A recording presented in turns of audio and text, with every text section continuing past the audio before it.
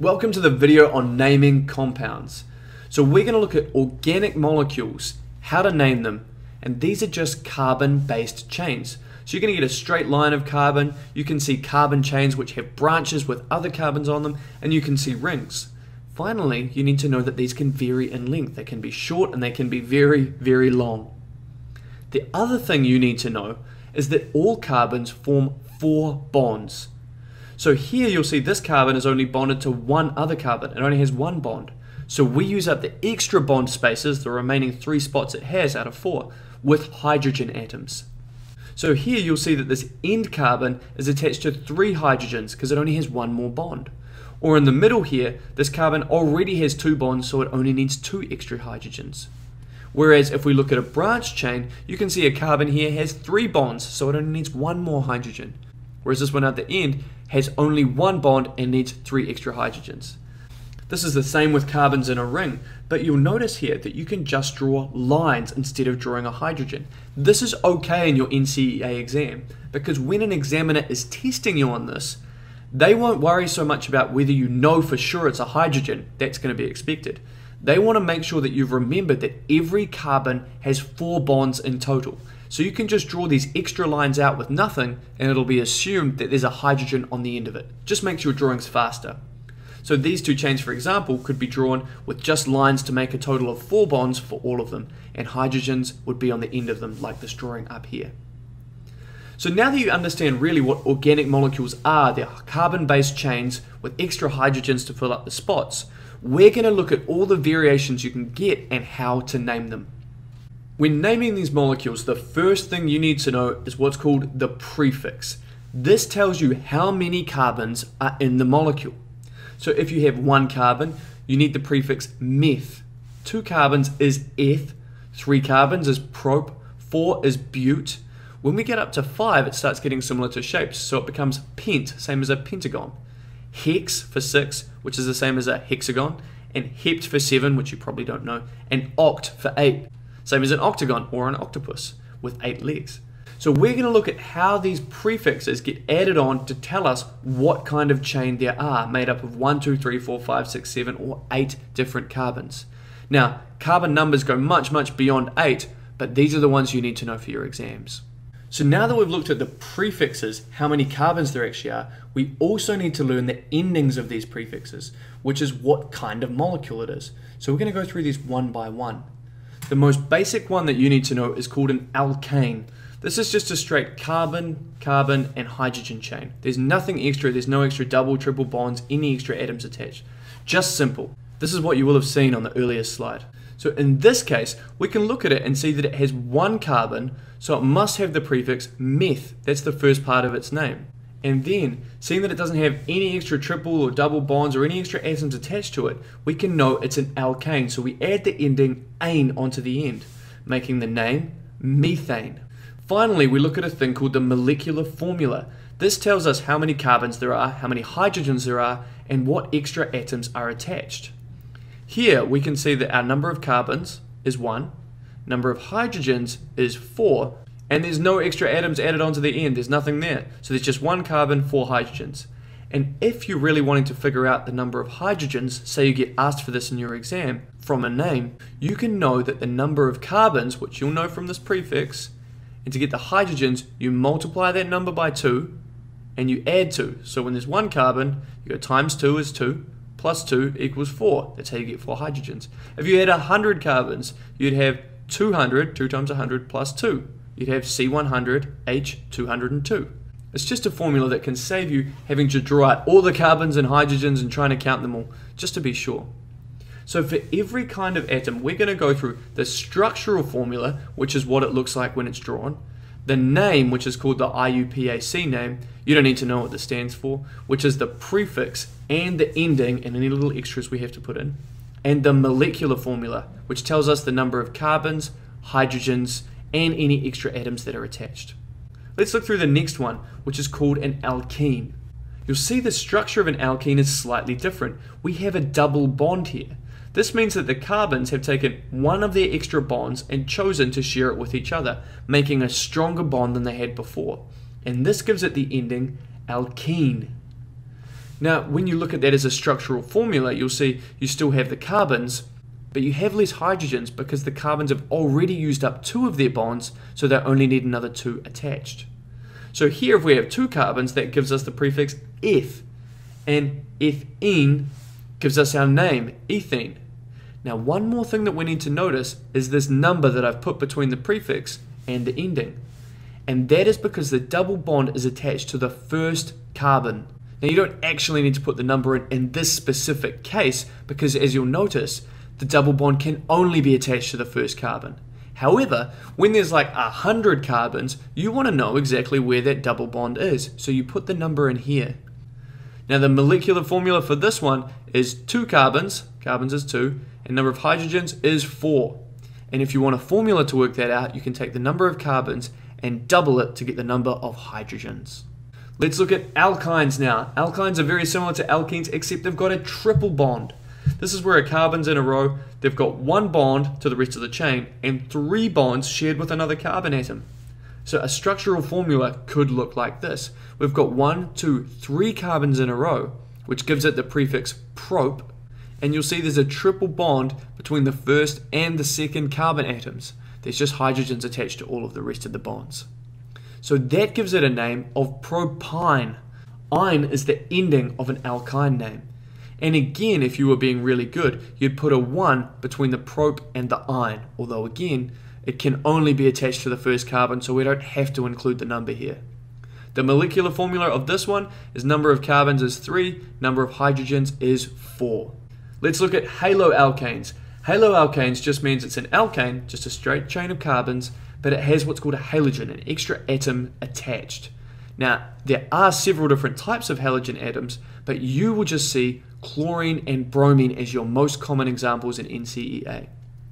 So for example, you might have a chain of carbons, just like an alkane, and there'll be a bromine attached to one of them. Now to name this one, we take the first syllable of the name of bromine, that's brom, and add an O to it. So it becomes bromo. Or for chlorine, you take the first syllable chlor and add O, making chloro. But before we get to that, we're going to look at the carbon chain. Here we've got four carbons in the longest chain. So this gives it the prefix but. And when we're looking at the chain, we'll notice that there's no extra double, triple bonds, nothing else attached. So we just put butane as our core name. This bromine is going to be an extra we'll add on. And we're going to use the name brom, the first syllable plus O, bromo, to put it in front. So here's our name, bromobutane. But we have to do one more thing and it comes back to the numbers. We have to say which carbon is it attached to. Is it attached to one at the end? Is it in the middle? This one is attached to the number 2 carbon. We always count from the closest end we possibly can. So number 1 and number 2. So our final answer is 2-bromobutane. The molecular formula for this one, we have number of carbons is 4, number of hydrogens is 9, and we have a Br, a bromine attached to the side. So this is our molecular formula. And just remember, bromine becomes bromo and we put it in front of the name, or chlorine becomes chloro and that becomes in front of the name as well. In some advanced questions, you can also see they might have two bromines attached or two chlorines attached to this one molecule. In that case, you have to call it dibromo or dichloro if there's more than one, if there's two and you also put their numbers in front. So if it's attached to the second and the third carbons, you'd call it 2,3 dibromobutane. So that is numbering the halogen, numbering the atom. Let's look at alcohol groups now. Alcohols mean that there is an OH group attached to one of the carbons. So you might know that the alcohol within alcoholic beverages is ethanol. This is eth, meaning that there's two carbons, and anol is the ending for alcohols. In this case though, we've got one, two, three, four, five carbons in our chain, giving us the prefix pent. And anol is on the ending, giving us the name pentanol. But we need to know which carbon the OH group is attached to. So we need to put the number 3, because it's on the third carbon from the end, in this name. And we put it in front of the ol at the end. So this becomes pentan 3-ol. The molecular formula of this is C5, 5 carbons, H, there's 11 of them, and there's an OH group, an alcohol group attached to this. Now you'll notice that there's actually a hydrogen here and 11 more hydrogens here, but we keep them separate because it makes it easy to read if we know we've got general carbons and hydrogens and then an OH group. You can see straight away that that's an alcohol group. Now also remember to put the number before the ol. Next is carboxylic acids. In carboxylic acids, we have a double bonded O, it's always on the end carbon, and an OH group, an alcohol group attached to it. The reason it's always on the end carbon is because it uses up three of a carbon's bonds. So it can only ever attach to one more carbon, meaning it can't sit in the middle of the chain and attach to both sides. So the double bonded O and the OH group make it a carboxylic acid and give it the ending enoic acid. So in this case, our prefix is 1, 2, 3, 4, 5, 6, so it's hex, and our ending is enoic acid. So hexanoic acid is our answer. In our molecular formula, we have 6 carbons and 11 hydrogens if you count them, and then the ending we put on this is a OOH. So that when you read something like this, you can see straight away that it's a carboxylic acid. Finally, we're going to look at amines. Now, amines have an NH2 group attached to it. And for the sake of NCEA, you can assume they're always on the end, so you don't have to worry about numbering it this time. So naming this one, we have the prefix and we add amide onto the end. So we have 1, 2, 3, 4, 5, 6, 7 carbons, which makes it hept, and heptamide is our name, adding amide onto that. With the molecular formula of C7, 7 carbons, and hydrogens, there are 15 if you count them. And again, we keep the NH2 separate so that we can see straight away that there's an amine group attached on the end of it. So now we've learned all of the prefixes that we need with the number of carbons. We've learned the endings for all the different types of molecules you're going to see. Now we're going to look at the final few rules for naming. So we might have side chains as well. They might not all go on one beautiful straight chain. So here we can see we've got five carbons in a row, that's pentane, and we've got two extra carbons coming off the side. And these two extra carbons have the prefix eth, and we give it the name ethyl. YL gets added on for any kind of side chain. So take the side chain, eth, add YL, and put it in front of your original name. It's ethyl. And as always, we want to know where is the side chain attached. It's attached to the third main carbon. So that makes it 3-ethyl pentane. But there's a little trick with this as well. The main chain is not always the one that's straight. It's the longest chain that you can find. So in this case, it's no longer pentane running straight across the top. It's actually hexane because the longest carbon chain is six carbons going around a corner here. So be careful of that. And you'll see that there's an extra side group off here off the 1, 2, 3 carbon. Now remember our prefix for 1 is meth, we add YL, so it's methyl, and it's attached to the third carbon.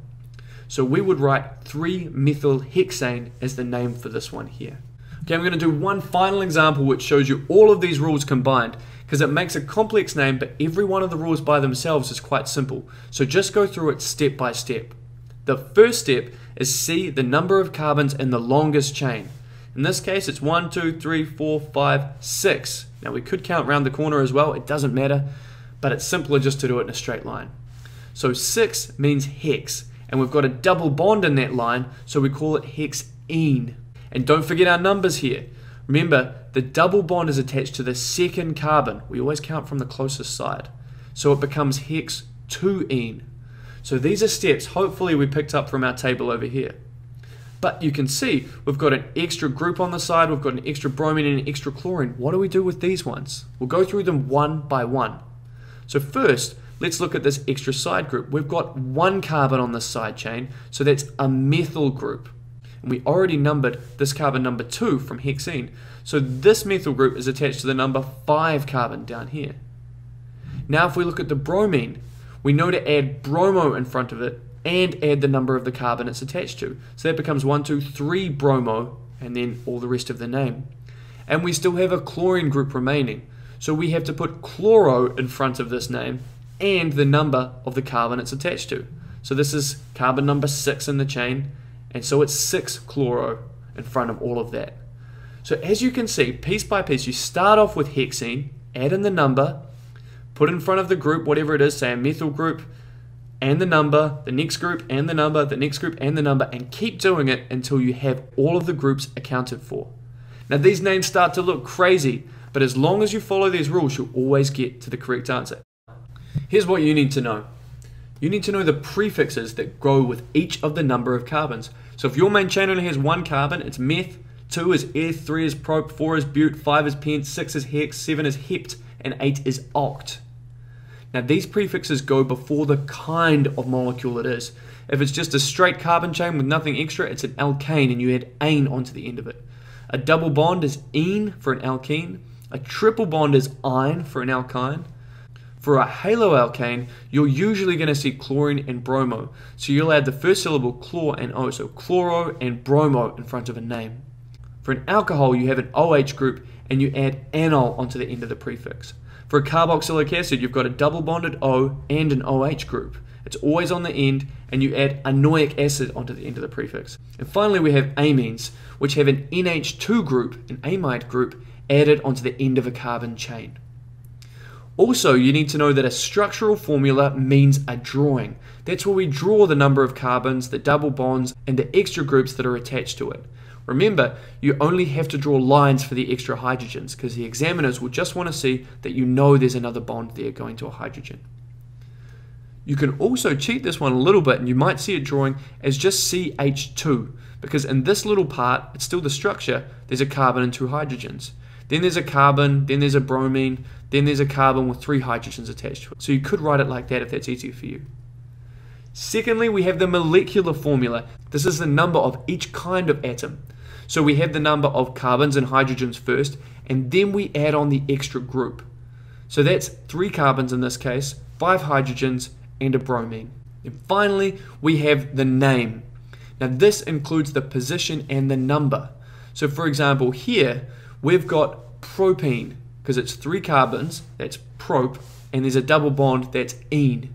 Now we've been good and included the number because this double bond is attached to the first carbon. However, we don't actually need to put the number because it always must be attached to the first carbon. There's nowhere else it could possibly be. If it's in this other place, we just count from the other side.